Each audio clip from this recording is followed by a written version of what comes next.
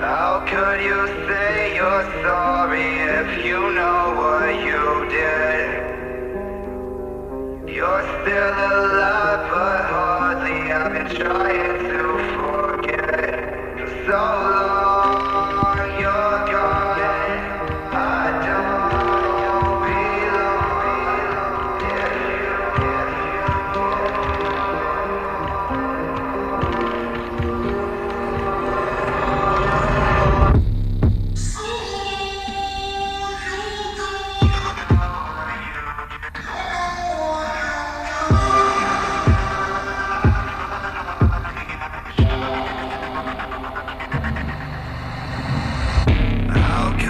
Say